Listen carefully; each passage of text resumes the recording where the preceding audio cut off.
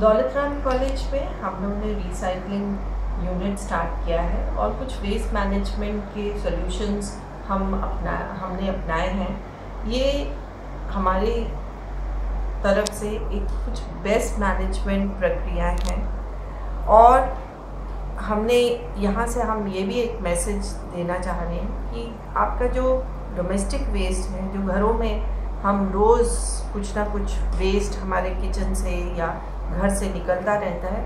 वो हम land fill में जनरली फेंक देते हैं। किंतु अगर हम उसको लैंडफिल में ना भेजें और इतने बड़े बड़े ढेर जो कूड़े के बनते जा रहे हैं उनको रोकने के लिए हम कुछ कोशिश करें तो हम 10 मिनट 10 मिनट अगर हम आ, इन चीज़ों पे ध्यान दें तो हम इनको उन प्रोडक्ट्स में चेंज कर सकते हैं जो कि हमारे लिए यूज़फुल है।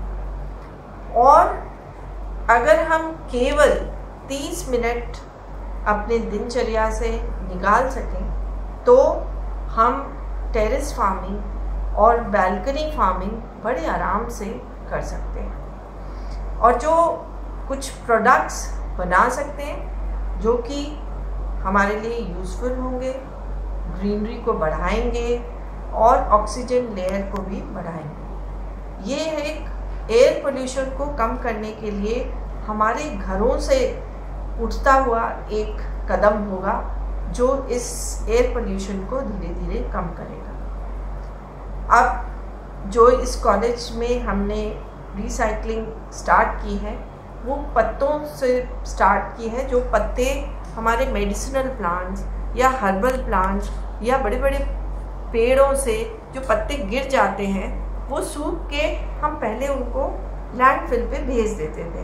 पर अब हम उसका कंपोस्टिंग कर रहे हैं, उसकी मेन्योर बना रहे हैं। और ये मेन्योर जो है, वो इतनी रिच है और इतनी यूज़फुल है कि आप उसको 24/7 आप अपने पौधों में यूज़ कर सकते हैं। वैसे जो आपकी गोबर की खाद है, उसकी तो मानता बहुत है।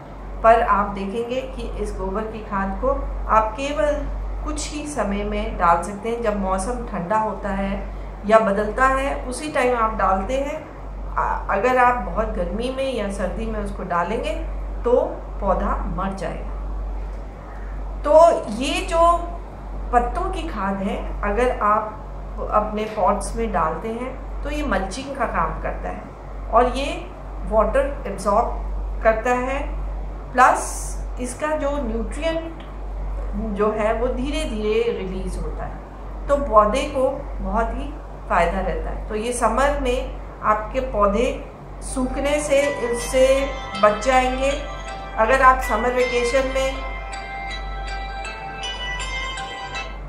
कहीं जाते हैं तो और कुछ जैसे हमारे पीजी में रहने वाले बच्चे हैं, वो भी अपने घर 10-15 दिन चले जाते हैं। तो उनको ये फ़िक्र रहती है कि हमारे पौधे मर ना जाएँ। तो अगर आप इनको ये ऐसी खाद उसमें डालेंगे तो उसका जो लाइफ है, वो बनी रहेगी। तो हमने ये जो एक्सपेरिमेंट है, किया है, उसको आप विजुलाइज करें, अगर आप यहाँ पे आएँ और देखें, और इस मुहिम से आप जुड़ें। थैंक यू बहुत बहुत धन्यवाद। नमस्कार साथियों। आप सभी का एक बार पुनः वेलकम करता हूँ मैं प्रवीण मिश्रा। और ये मैसेज आपको हमारी सम्मानित आदरणीय श्रीमती सरिता नंदा मैम से आप सुन रहे हैं। और Sarita Nanda ma'am Delhi university Daulat Ram college में हैं। इनके जिम्मे एक काम है कि कैसे कॉलेज कैंपस को एक साफ़ सुथरा और बेस्ट कैंपस बनाया जाए और यहाँ की जो प्रोड्यूस है उसको रिसाइकिल किया जाए। और साथ में ये रिसाइकिल वाली जो चीज़ें हैं बहुत सारी औषधीय गुणों वाली है, क्योंकि इसमें नीम के पत्ते हैं, अमलतास हैं, और बहुत ऐसी चीज़ें हैं जो आप आएँगे, खुद देखेंगे विजुलाइज करेंगे तो आपको खुद विश्वास भी होगा। पर्यावरण के लिए हम जो कुछ भी प्रयास कर रहे हैं, और यहाँ आके जो इनसे हमें ज्ञान मिला, और इस ज्ञान को हम चाहेंगे कि आप तक भी वो पहुँचे तो हम एक ही चीज़ बोलना चाहेंगे, जो आज मैडम से हमने ज्ञान हासिल किया है, वो यही है कि जो शब्द हैं, उससे ज़्यादा काम बोलता है। तो ये काम दिखे, ये काम बोले, और जब आपके घर में फूल खिलेगा तो वो फूल भी आपसे बातें करेंगी। प्रवीण मिश्रा, बेहतर इन्वायरमेंट के लिए दौलत राम कॉलेज, नॉर्थ दिल्ली से।